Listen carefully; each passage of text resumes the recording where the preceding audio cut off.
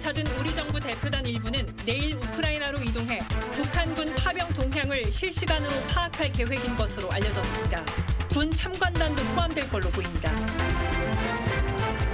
조국혁신당이 윤석열 대통령 임기 반환점인 다음 달 10일 탄핵안을 발의할 계획인 것으로 파악됐습니다.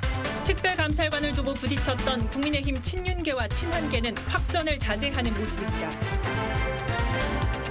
일본 집권 자민당이 15년 만에 과반 확보에 실패하는 최악의 선거 참패를 당했습니다.